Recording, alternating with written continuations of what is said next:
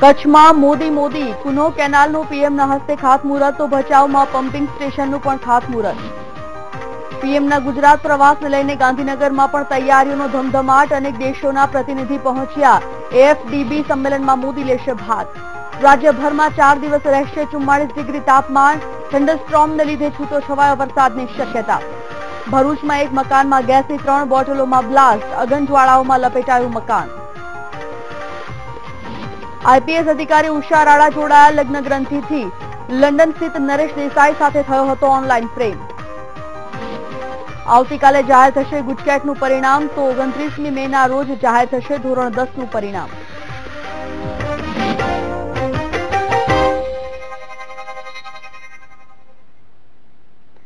નમસ્કાર, આજે ગુજરાત સાથે હું છું સંજીવની. સૌથી પહેલા અમદાવાદની વાત કરીએ. અમદાવાદના વાતાવરણમાં અચાનક પલટો આવી ગયો છે. બપોરે કાળઝાળ ગરમી અને બાદમાં સાંજે ગાજવીજ સાથે કેટલાક વિસ્તારોમાં વરસાદનું આગમન થયું છે. ભારે પવનને કારણે વાતાવરણમાં ઠંડક પ્રસરી જવા પામી છે અને વરસાદને કારણે લોકોને ગરમીથી આંશિક રાહત મળી છે. અમદાવાદના નવરંગપુરા ઘાટલોડિયા વિસ્તારમાં વરસાદ સાથે કરા પડ્યા તો મેમનગર, બોડકદેવ અને એલસી હાઈવે પર વરસાદ પડ્યો હતો. મહત્વનું છે કે હવામાન વિભાગ દ્વારા પણ વરસાદની આગાહી કરવામાં આવી છે.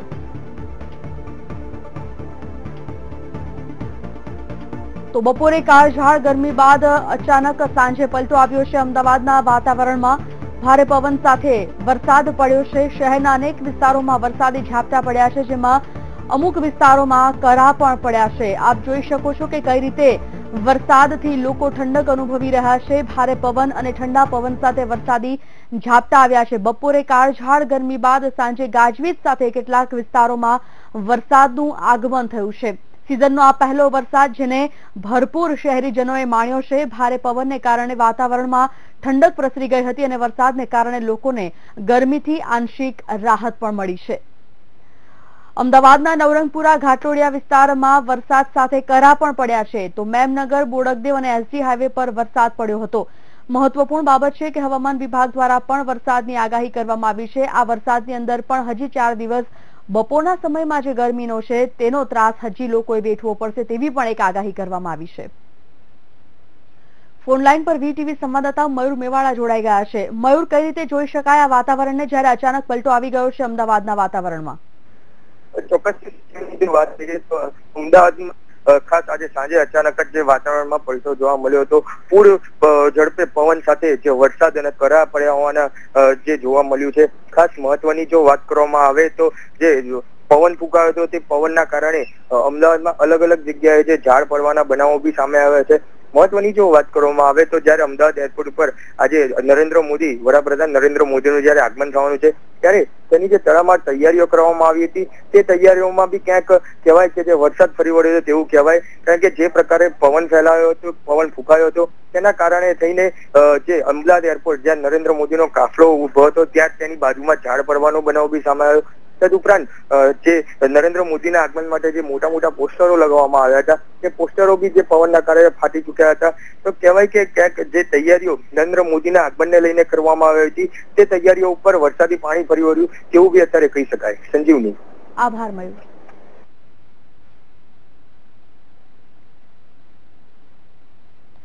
તો આ તરફ અમદાવાદના સાણંદ વિસ્તારના વાતાવરણમાં પણ પલટો આવી ગયો છે. સાણંદમાં જોરદાર પવન સાથે વરસાદ પડ્યો, તો કડીના કેટલાક વિસ્તારમાં પણ વરસાદ પડ્યો.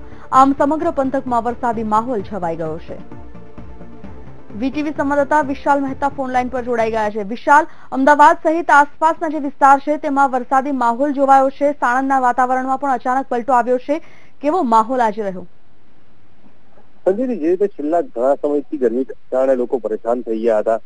ગરમીનું તાપમાન હતું તાપમાન તેતાલીસથી ચુમ્માલીસ ડિગ્રી સુધી પહોંચી ગયું ત્યારે લોકો ત્રસ્ત થયા હતા. જ્યારે અચાનક જ વાતાવરણમાં પલટો આવ્યો અને સાણંદ તરફ ભારે પવન સાથે વરસાદ શરૂ થઈ ગયો હતો. સાણંદ અને એની આસપાસના વિસ્તારમાં ધુઆધાર વરસાદ પડ્યો હતો, જેના કારણે લોકોમાં એક એક તરફ ગેલનો માહોલ જોવા મળ્યો હતો અને વરસાદના કારણે લોકોના મનમાં ખુશી ફેલાઈ હતી. સાથે જ સમગ્ર વિસ્તારની અંદર ઠંડક થવાના કારણે પ્રજાજનોએ પણ શાંતિ અનુભવી હતી અને ઠંડકના કારણે લોકોએ હાશકારો મેળવ્યો હતો. સજીવને આભાર, વિશાલ.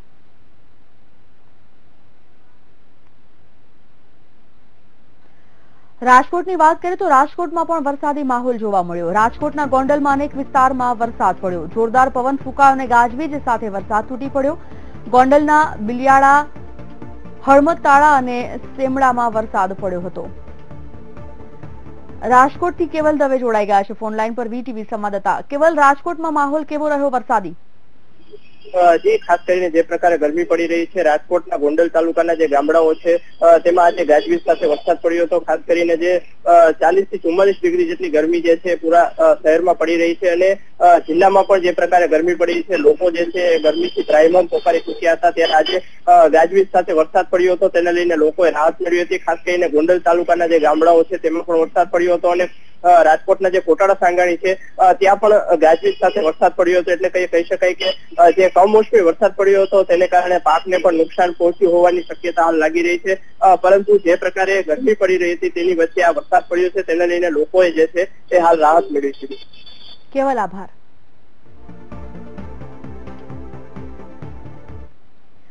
આગામી ચાર દિવસમાં રાજ્યનું તાપમાન ચુમ્માળીસ ડિગ્રી રહેશે. અમદાવાદનું મહત્તમ તાપમાન એકતાળીસ ડિગ્રી રહેશે. રાજ્યભરમાં ચાર દિવસ થંડરસ્ટોર્મની અસર જોવા મળશે. થંડરસ્ટોર્મ અસરથી છૂટો છવાયો વરસાદની શક્યતા છે, તેમ હવામાન વિભાગ દ્વારા જણાવવામાં આવ્યું છે.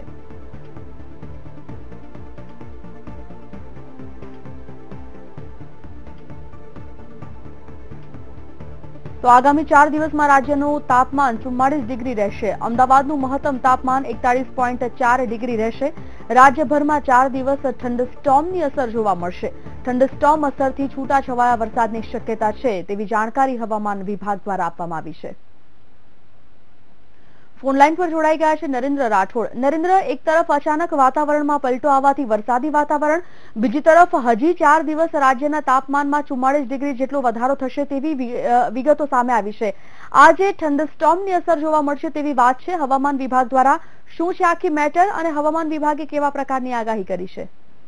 જી, છેલ્લા ઘણા સમયથી જે પ્રમાણે સમગ્ર ગુજરાતના હવામાનમાં પલટો જોવા મળી રહ્યો છે. બપોરે ખૂબ ગરમી જોવા મળી રહી છે. ચુમ્માલીસ બેતાલીસથી ચુમ્માલીસ ડિગ્રી સુધી તાપમાન જોવા મળી રહ્યું છે અને ત્યારબાદ સાંજે વરસાદ પડી રહ્યો છે. એટલે હવામાન વિભાગ દ્વારા આજે જયારે તેમના દ્વારા જણાવવામાં આવી રહ્યું છે કે, અને જે આગાહી આપવામાં આવી છે તે મુજબ આગામી ચારથી પાંચ દિવસ સુધી સમગ્ર રાજ્યમાં વધારેમાં વધારે ચુમ્માલીસ ડિગ્રી સુધી તાપમાન જઈ શકે છે. તેમજ છૂટો છવાયો વરસાદ, થંડરસ્ટોર્મના કારણે વિવિધ વિસ્તારોમાં થવાની શક્યતાઓ હવામાન વિભાગ દ્વારા દર્શાવવામાં આવી રહી છે. અને એ જ મુજબ છેલ્લા બે ત્રણ દિવસ પહેલા સૌરાષ્ટ્રના વિવિધ વિસ્તારોમાં આ રીતના ખૂબ ગરમી, ઉકળાટ બાદ સાંજે વરસાદ અને ત્યારબાદ છેલ્લા બે દિવસથી ગતકાલે અને આજે અમદાવાદમાં આ રીતની સ્થિતિ જોવા મળી રહી છે. અમદાવાદ સહિત જે સમગ્ર મધ્ય ગુજરાતનો જે વિસ્તાર છે, ત્યાં ગતકાલે પણ બપોર સુધી ખૂબ ગરમી જોવા મળી હતી અને આજે પણ બપોર સુધી ખૂબ ગરમી. બાદ સાંજે પવન સાથે વાતાવરણમાં પલટો થયો હતો અને ખૂબ પવન સાથે આજે વરસાદ જોવા મળ્યો છે. અને આગામી હજુ ચાર પાંચ દિવસમાં પણ આ રીતની સ્થ- સ્થિતિ વિવિધ વિસ્તારોમાં સમગ્ર ગુજરાતના જોવા મળી શકે છે. તેવી આગાહી હવામાન વિભાગ દ્વારા કરવામાં આવી રહી છે. ખાસ કરીને કોઈ તાલુકો જિલ્લો કોઈ સ્પેસિફાય કરવામાં આવ્યું છે કયા તાલુકા જિલ્લામાં અસર આની વધુ રહેશે? જી હવામાન વિભાગ દ્વારા જે માહિતી આપવામાં આવી રહી છે તે મુજબ બપોર સુધી આ ગરમી પડી શકે છે અને ત્યારબાદ સમગ્ર ગુજરાતના જે વિવિધ વિસ્તારો છે ત્યાં આ રીતની સ્થિતિ જોવા મળી રહી શકી છે મળી શકે છે અને એ કોઈ સ્પેસિફાઈડ વિસ્તાર કરવામાં નથી આવ્યા.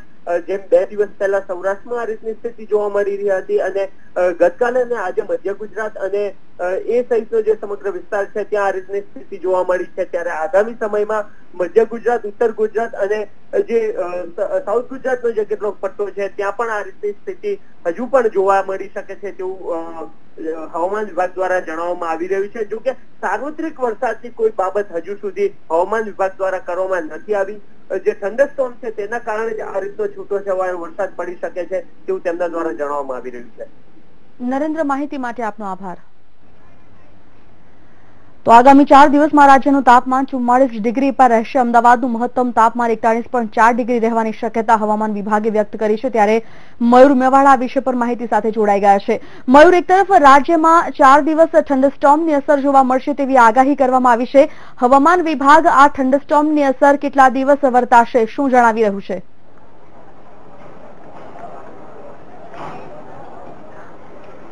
ચોક્કસથી સંજીવની જો વાત કરવામાં આવે તો હવામાન વિભાગ દ્વારા જે આગાહી કરવામાં આવી છે કે જે ચાર દિવસ જે પ્રકારે વાતાવરણ છેલ્લા બે દિવસથી અમદાવાદ, ગુજરાતમાં જોવા મળી રહ્યું છે કે સાંજના સમયે પૂર ઝડપે જે વરસાદને કરા જોવા મળી રહ્યા છે. આ જ રીતનું વાતાવરણ છેલ્લા ચાર દિવસ જે હવામાન વિભાગની આગાહી દ્વારા કરવામાં આવેલું છે કે આગામી ત્રણથી ચાર દિવસ આ પ્રકારે જ વાતાવરણ જોવા મળશે કે પૂર ઝડપે પવન ફૂંકાતો દેખાવા મળશે, વરસાદ પડતો બી જોવા મળશે, તદુપરાંત ક્યાંક કરા બી પડતા હોય તેવું બી જોવા મળશે. ત્યારે કહેવાય કે, જે આ કમોસમી વરસાદ છે તે અત્યારે હાલ આગમન કર્યું છે. ત્યારે ઘણું ખેડૂતોને આ બાબતને લઈને કહેવાય કે ખેડૂતોમાં એક ચિંતાનું વાતાવરણ ફેલાયું છે કે જે પ્રકારે કમોસમી વરસાદ ફેલાયો છે, ત્યારે તેમના પાકને ઘણું નુકસાન થાય તેવી એક શક્યતા ખેડૂતો દ્વારા દેખાવામાં આવી છે.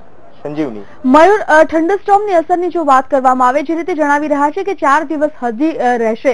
હવામાન વિભાગે સાર્વત્રિક વરસાદની આગાહી પંદર જૂન બાદ કરી છે. શું લાગે છે? હવે જ્યારે કસિઝનનો વરસાદ એટલે કે અત્યારે અચાનક વરસાદ શરૂ થઈ ગયો છે, તે આગાહીમાં કોઈ ફેરબદલ કર્યું છે ખરું?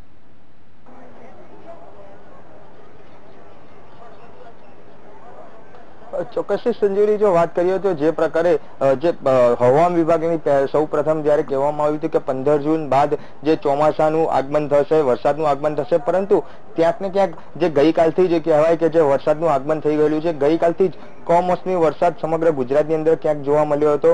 ગઈકાલ સાંજથી જે આ પ્રકારે પવન સાથે જે વરસાદને કરા જોવા મળ્યા હતા. ત્યારે હવે આગામી સમયમાં હવામાન વિભાગ દ્વારા ત્રણથી ચાર દિવસની આગાહી તો આપવામાં આવેલી જ છે કે હજી ત્રણથી ચાર દિવસ આ પ્રકારનું વાતાવરણ જોવા મળશે.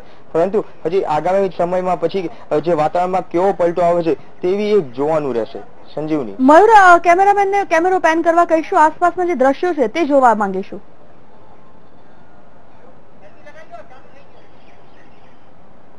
ચોક્કસથી સમજીને હું કેમેરામેનને કહીશ કે તે અત્યારે હાલ જે અમદાવાદ એરપોર્ટ ઉપર જ્યારે નરેન્દ્ર મોદીનું આગમન થવાનું છે, તેના આગમનને લઈને જે તૈયારીઓ કરવામાં આવી હતી, જે અલગ અલગ મોટા હોર્ડિંગ્સને લગાવવામાં આવ્યા હતા, તે હોર્ડિંગ્સની અત્યારે જે પ્રકારે થોડી વાર પહેલા જે એરપોર્ટ ઉપર જે પવન ફૂંકાયો હતો, તેને લઈને જે હોર્ડિંગ્સની હાલત થઈ છે, તે અત્યારે દ્રશ્યોમાં બી આપણે દેખી રહ્યા છે કે જે હોર્ડિંગ્સ છે તે ફાટી ચૂકેલા છે. તદુપરાંત જે અલગ અલગ પ્રકારના જે હોર્ડિંગ્સ, તદુપરાંત ટેન્ટ જે સુરક્ષા કર્મીઓ માટે બી બનાવવામાં આવ્યા હતા, તેની હાલત બી અત્યારે બેહાલ થઈ ગયેલી છે. તમામ ટેન્ટ જે ફાટી આવી ચૂકેલા છે. અમદાવાદ એરપોર્ટ ઉપર જે કહેવાય કે જ્યારે નરેન્દ્ર મોદીનું આગમન થોડાક થોડીક ક્ષણોની અંદર જ્યારે થવાનું છે, ત્યારે તે પહેલા જે પ્રકારે જે વાતાવરણમાં પલટો જોવા મળ્યો હતો, જે પવન ફૂંકાયો, જે પ્રકારે વરસાદને કરા પડવાને જે સામે આવ્યું હતું, ત્યારે એરપોર્ટની આજુબાજુના વિસ્તારોમાં બી ક્યાંક ઝાડ પડવાની સમસ્યાઓ સામે આવી હતી. તદુપરાંત મહત્વની જો વાત કરવામાં આવે, તો જે જગ્યાએ નરેન્દ્ર મોદીનો કાફલો ઊભો હતો, તેની નજીક જ એક ઝાડ પડ્યા ઝાડ પડ્યું હતું. પરંતુ અહીંયા આગળ ફાયર બ્રિગેડનો સ્ટાફ તહેનાત હોવાના કારણે તાત્કાલિક રીતે ઝાડ હટાવી દેવામાં આવ્યું છે. તદુપરાંત એરપોર્ટ જે એરપોર્ટ રોડ છે, ત્યાં ગાડી બી ઘણી બધી જગ્યાએ જે પવનના કારણે ઝાડ પડવાની સમસ્યા સામે આવેલી છે. ત્યારે હજી હવામાન વિભાગે ત્રણથી ચાર દિવસની આ પ્રકારની આગાહી આપેલી છે. ત્યારે આગામી સમયમાં હજી કેવું વાતાવરણમાં પલટો જોવા મળે છે તે બી એક જોવાનું રહેશે. સંજીવની. મયુર માહિતી માટે આપનો ખૂબ ખૂબ આભાર.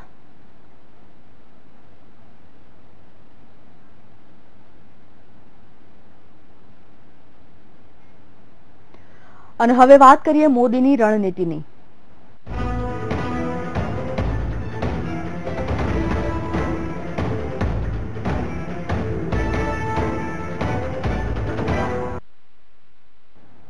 પ્રધાનમંત્રી મોદી બે દિવસના ગુજરાતના પ્રવાસે છે. ત્યારે તેઓ દિલ્હીથી સીધા ભુજ એરપોર્ટ પહોંચ્યા હતા, જ્યાં તેમનું મુખ્યમંત્રી વિજય રૂપાણી દ્વારા ભવ્ય સ્વાગત કરાયું. જે બાદ એરપોર્ટથી કંડલા પોર્ટ સુધી પ્રધાનમંત્રીએ રોડ શો યોજ્યો હતો. કંડલા પોર્ટ પર આંબેડકર કન્વેન્શન સેન્ટરનું લોકાર્પણની સાથે વિવિધ પ્રોજેક્ટના લોકાર્પણ કર્યા અને જાહેર સભાને પણ સંબોધિત કરી. જાહેર સભાને સંબોધન કર્યા બાદ પ્રધાનમંત્રી મોદી ભચાઉ પહોંચ્યા જ્યાં તેમણે પમ્પિંગ સ્ટેશનનું અને નર્મદા વોટર કુન્હો કેનાલનું લોકાર્પણ કર્યું હતું. કેનાલના લોકાર્પણથી સાત તાલુકામાં કુલ એકસો ગામોને પાણી મળી રહેશે.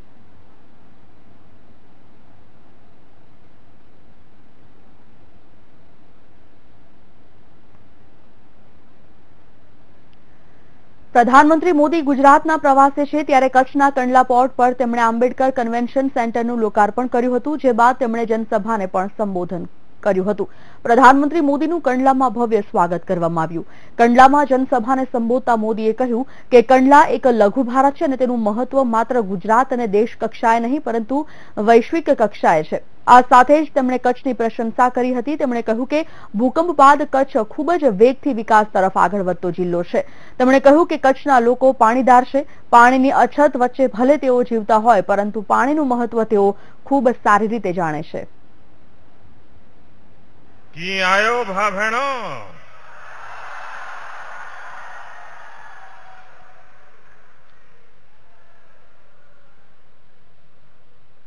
याद करते है मुके?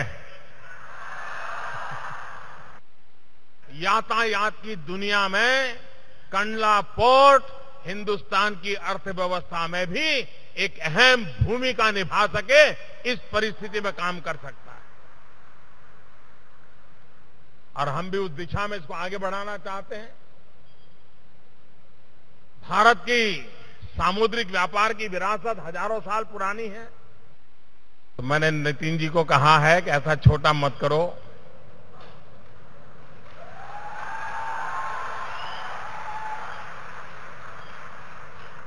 उसे कुछ नए सिरे से सोचो। उन्होंने कहा कि मुझे थोड़ा समय दीजिए, मैं सोच करके बताता हूँ। तो ये कन्वेंशन सेंटर भी, क्योंकि जिस प्रकार से कच्छ का डेवलपमेंट हो रहा है, आज हिंदुस्तान में कोई एक डिस्ट्रिक्ट तेज गति से आगे बढ़ रहा है तो उस डिस्ट्रिक्ट का नाम कच्छ है।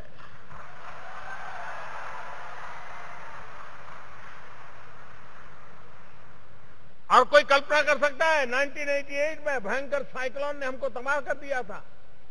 2001 भूकंप ने हमें ज़मीन दोस्त कर दिया था।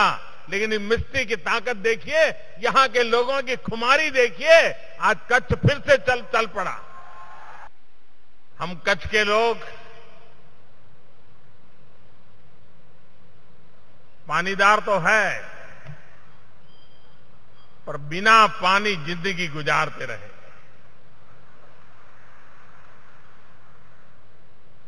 पानी का महत्व क्या होता है? ये कच्छ के लोग भली भांति समझते हैं। चाबहार पोर्ट और कंडला पोर्ट, इन दोनों का जुड़ना, इसका मतलब यह होता है कि विश्व व्यापार में अंगद की तरह कंडला अपना पैर जमाएगा इतना बड़ा परिवर्तन आने वाला है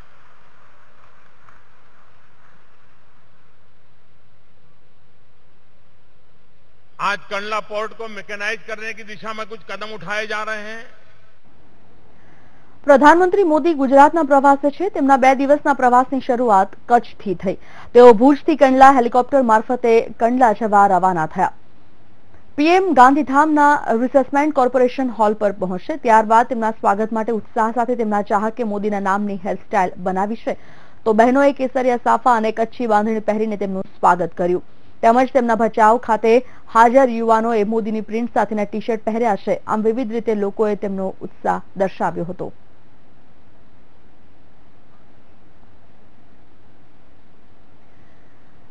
પીએમ મોદી બે દિવસ ગુજરાત મુલાકાતે છે. કચ્છ ભુજ કંડલા, ભચાઉ ખાતે વિવિધ કાર્યક્રમો પૂર્ણ કરી સાંજે અમદાવાદ આવવા રવાના થશે અને ગાંધીનગર રાજભવનમાં રાત્રિ રોકાણ કરશે. ત્યારબાદ મહાત્મા મંદિર ખાતે આફ્રિકન ડેવલપમેન્ટ બેંકનો કાર્યક્રમ યોજાવાનો છે. આ અંગે સુરક્ષા અંગેનો પૂરતો બંદોબસ્ત પણ કરી દેવાયો છે. સાથે જ સાત દેશોના પ્રતિનિધિઓ, રાષ્ટ્રપ્રમુખો સાથે પીએમની બેઠક યોજાશે.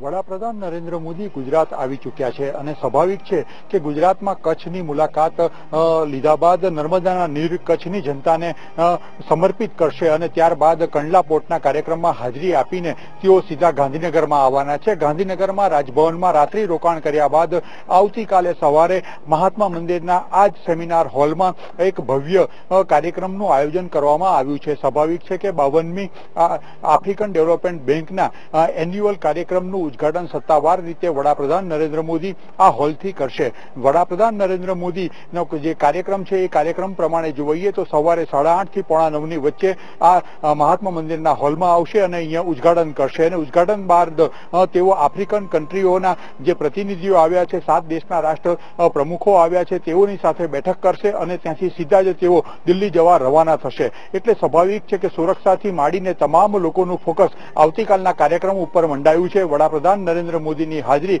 ફરી એકવાર મહાત્મા મંદિરમાં લોકોનું ધ્યાન આકર્ષિત કરશે. કેમેરામેન રમેશ ટુડિયા સાથે હિતલ પારેખ, વીટીવી, ગાંધીનગર.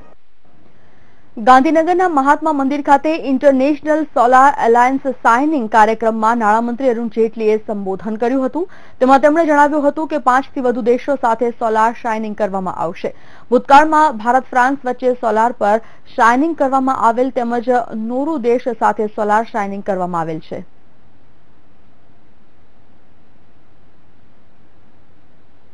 अफ्रीकन देशों के अंदर बढ़े।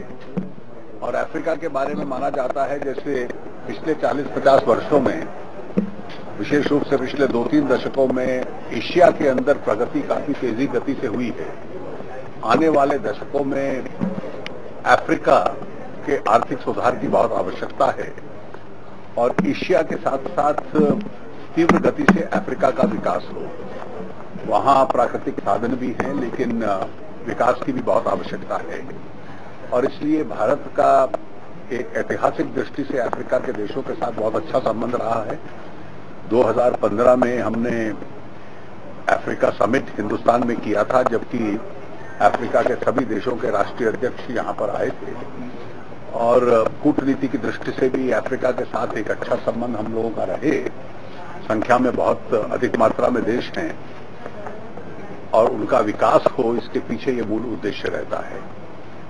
कल सुबह माननीय प्रधानमंत्री जी इस बैठक का महत्व देखते हुए स्वयं इसके उद्घाटन के लिए यहाँ आएँगे और मैं तीन दिन तक मेरे अन्य जो दोनों सहयोगी मंत्री हैं वित्त मंत्रालय में, हम गांधीनगर में इस बैठक के संबंध में रहेंगे।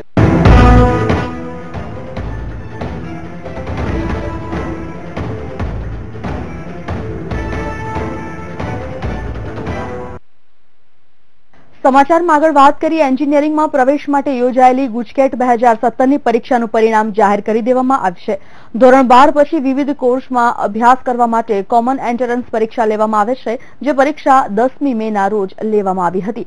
ત્યારે આવતીકાલે ગુજકેટનું પરિણામ જાહેર કરાશે. ગુજકેટની પરીક્ષા એક લાખ તેત્રીસ હજાર વિદ્યાર્થીઓએ આપી હતી.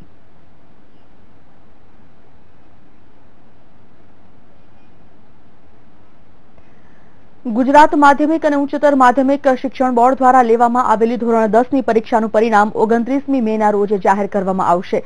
ચાલુ વર્ષે ગુજરાતમાંથી ધોરણ દસના અગિયાર લાખથી વધુ વિદ્યાર્થીઓએ પરીક્ષા આપી હતી. ગુજરાત શિક્ષણ બોર્ડની વેબસાઇટ પરથી ધોરણ દસનું પરિણામ જોઈ શકાશે.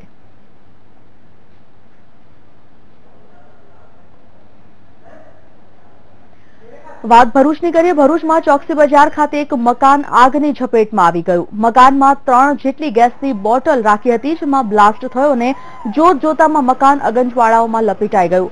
આગને બુઝાવવા માટે ફાયર બ્રિગેડ વિભાગની ટીમ ઘટના સ્થળે પહોંચી ગઈ હતી અને આગને કાબૂમાં લેવાના પ્રયત્નો હાથ ધરવામાં આવ્યા હતા.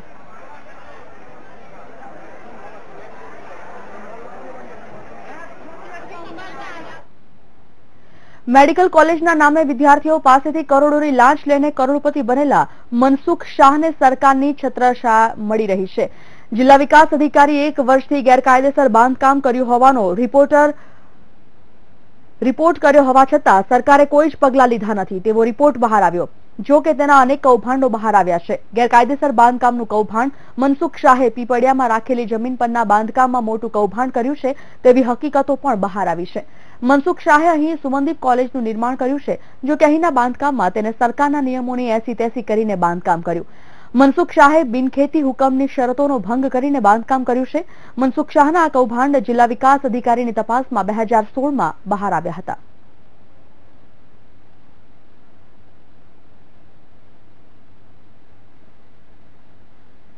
સરકાર ભીનું સંકેલી લે છે. એનો મતલબ, સરકારને, સરકારનું મનસુખ શાહને પીઠબળ છે, એ સ્પષ્ટ જણાઈ આવે છે. આટલી બધી ચોંકાવનારી બાબતોમાં મારી સરકાર સમક્ષ એ જ માંગણી છે કે સરકાર જો કબૂલતી હોય, ધારાસભ્ય કબૂલતા હોય, તો સરકાર રાહ શેની જોઈ રહી છે? આ બાંધકામ તાત્કાલિક તોડવું જોઈએ અને એની રજૂઆત હું ઉચ્ચ કક્ષાએ કરવાનો છું. લેભાગુ નીતિ અને ઉદ્યોગપતિઓને બચાવવાની નીતિને કારણે કોઈ કામગીરી કરવામાં આવેલ નથી ને દબાણ દૂર કરવામાં આવેલ નથી. અને જો ધારાસભ્ય જેવા વ્યક્તિઓએ પણ ડીડીઓ પાસે માહિતી માંગી, તો બી એને અહેવાલ આવેથી તમને માહિતી આપવામાં આવશે. તો જો ધારાસભ્ય જેવાને બી સંકલન સમિતિમાં પ્રશ્નો પૂછવા પડે અને એને ઉદ્ધત જવાબ આપવામાં આવે, તો એને બી જવાબ આપવામાં ના આવતો તો સમજી લેવાનું કે આ સરકારની અંદર લેભાગુને જ સરકાર છે, ફક્ત કૌભાંડીઓની જ સરકાર છે અને કૌભાંડીઓને બચાવવા માટેની જ સરકાર છે. સામાન્ય માણસે જો આ રીતે દબાણ કરેલું હોય તેનું દબાણ તોડી નાખવામાં આવે છે. તો સુમનદીપ યુનિવર્સિટીનું દબાણ કેમ તોડવામાં આવતું નથી? એ બધાની માટે વ્યક્ત પ્રશ્ન છે. સમાચારમાં આગળ વધીએ છીએ. એક મહત્વના સમાચારની જો વાત કરવામાં આવે તો ઇલેક્શન કમિશન દ્વારા મહત્વપૂર્ણ નિર્ણય લેવામાં આવ્યો છે. રાજ્યસભાની ચૂંટણીની તારીખ ઇલેક્શન કમિશન દ્વારા પાછી ખેંચાય છે. હાલ પૂરતી ચૂંટણી પ્રક્રિયા રદ કરવામાં આવશે. ચૂંટણી પંચ હવે ફરીથી તારીખ જાહેર કરશે અને ત્યારબાદ રાજ્યસભાની ચૂંટણી યોજાશે.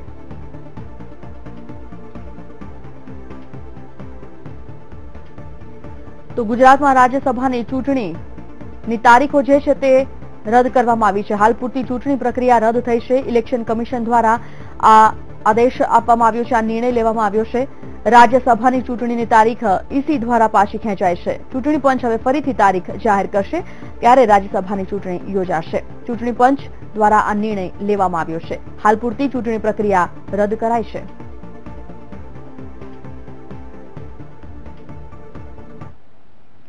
રાજકોટની આરટીઓ કચેરીમાં જીઆઈએસએફના જવાને ગળે ફાંસો ખાઈ આપઘાત કર્યો. બનાવની જાણ થતાં પોલીસ અને એકસો આઠનો કાફલો ઘટના પર પહોંચી ગયો હતો. ઘરકંકાસના કારણે આપઘાત કર્યાનું પોલીસ તપાસમાં ખુલ્યું હતું. યુવક પાસેથી પોલીસને ચાર પાનાની સ્યુસાઇડ નોટ મળી આવી હતી, જેમાં લખ્યું હતું કે, મારી પત્ની આરતી, મારા તન, મન અને દિલમાં એક જ હતી. આ લવ માય ફેમિલીનો આપઘાત કરનાર યુવક આરટીઓમાં સિક્યુરિટી ગાર્ડ તરીકે ફરજ બજાવતો હતો. આ બનાવમાં નાઇટમાં આરટીઓ કચેરી રાજકોટ ખાતે ફરજમાં જીઆઈએસએફએસમાં સિક્યુરિટી ગાર્ડ તરીકે ફરજ બજાવતા ઈશ્વરભાઈ કાનજીભાઈ દેલવાડિયાની નોકરી નાઇટમાં હતી આરટીઓ કચેરીમાં. અને એણે લગ્ન થઈ ગયા હતા એમના. પછી કાંઈક છૂટું થઈ ગયેલું હતું એનું. એટલે એના આઘાતના કારણે એણે આ પગલું ભરી લીધેલ છે. અને ગળા દોરી વડે ગળે ફસો ખાઈ લીધેલ છે આરટીઓ કચેરી અંદર. તો મૃતક ઈશ્વરભાઈની પત્ની છેલ્લા થોડા મહિનાથી રીસામણે હોવાથી ઈશ્વરભાઈએ આ પગલું ભર્યું હોવાનું લખાણ લખવામાં આવ્યું છે. મૃતક ઈશ્વરભાઈ સુરેન્દ્રનગરના જાંબુ ગામના રહેવાસી છે અને રાજકોટ આરટીઓ કચેરીમાં નોકરી કરે છે. તેની પત્ની પણ રાજકોટ રહેવા આવવા જીદ કરતી હતી. પરંતુ મૃતક ગાર્ડના ટૂંકા પગારને કારણે ઈશ્વરભાઈ તેની પત્નીને રાજકોટ લઈ આવતા નહોતા, જેને લઈને થોડા મહિનાથી ઈશ્વરભાઈની પત્ની તેના માતા પિતાના ઘરે ચાલી ગઈ હતી, જે ઈશ્વરભાઈને લાગી આવતા તેમને આત્મહત્યા કર્યાનું પ્રાથમિક તારણ બહાર આવ્યું છે. હાલ તો પોલીસે મૃતકની સ્યુસાઇડ નોટ કબજે કરી છે અને તેમના પરિવારજનોને જાણ કરવામાં આવી છે. જો કે સિક્યુરિટી ગાર્ડના આપઘાત માટે જવાબદાર યુવતીની પૂછપરછ કરી વધુ તપાસ હાથ ધરવામાં આવશે.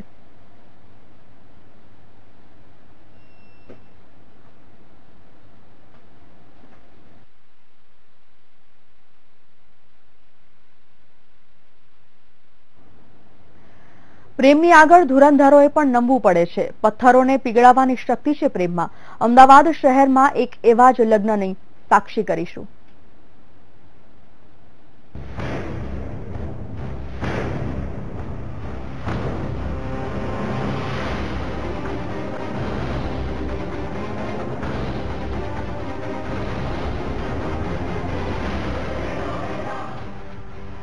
આઈપીએસ અધિકારી ઉષા રાણા અમદાવાદ શહેરમાં સોફિસ્ટિકેટેડ ગુનાઓને આ નામથી હંમેશા ડર લાગે છે. અમદાવાદ શહેરની ક્રાઇમ બ્રાન્ચ કામ કરવાનો બહોળો અનુભવ. ક્યારેય બેસી નહીં રહેવાની આદત. કાળા કામ કરનારાઓ પર આંધીની જેમ ત્રાટકવાનો સ્વભાવ. આ તમામ ખાસિયતો છે આઈપીએસ ઉષા રાણાની. હાલ ઉષા રાણા અમદાવાદના ઝોન ટુ ના ડીસીપી તરીકે ફરજ બજાવે છે.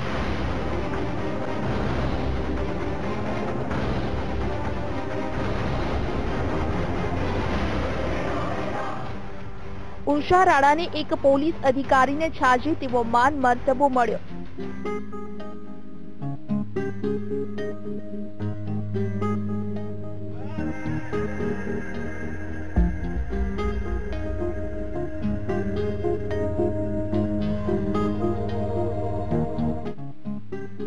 અને હવે મનનો માણીગર પણ મળી ગયો છે. ઉષા રાણાએ તેમના એફબી મિત્ર સાથે પ્રભુતામાં પગલા પાડ્યા. લંડન સ્થિત નરેશ દેસાઈ નામના ગુજરાતી સાથે ઉષા રાણાએ લગ્ન કર્યા. આરોપી વિશે તો પોલીસ ખૂબ તપાસ કરે છે. ગુનાની શોધ માટે અવનવા સવાલો પણ પૂછે છે. પરંતુ ઉષા રાણાએ સાત જન્મો સુધી જેની સાથે રહેવાનો કોલ લીધો છે. તે નરેશભાઈને ફેસબુક સિવાય રૂબરૂમાં ક્યારેય મળ્યા નથી. બંનેની મુલાકાત ફેસબુક પર થઈ. પછી સત્તરમી મે એકબીજાને પ્રત્યક્ષ રૂપે જોયા અને મળ્યા.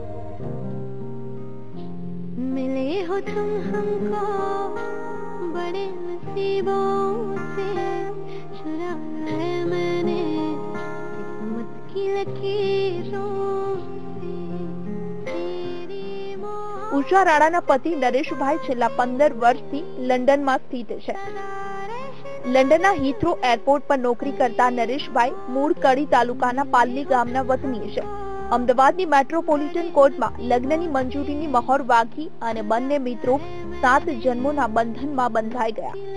ફેસબુકમાં અવારનવાર વાતો કરવાથી ઉષા રાડા અને નરેશભાઈનો પ્રેમ, પર્સનલ ફોન નંબર શેરિંગ સુધી પહોંચ્યો. આ પડાવમાં જ નરેશભાઈ ઉષા રાડાને લગ્ન માટે પ્રપોઝ કર્યો અને આઈપીએસ અધિકારી માની ગયા. અમદાવાદમાં જ એક નાનકડા ફંક્શનમાં ખૂબ જ અંગત લોકોને આમંત્રણ આપવામાં આવ્યું. વિવાહ સુખેથી સંપન્ન થયા છે. હવે આ નવ દંપતી વિદેશો ફરવા જવાનું છે. ઉષા રાણા એક મહિના પછી ફરજ પર હાજર થવાના છે. Bureau report VTV news.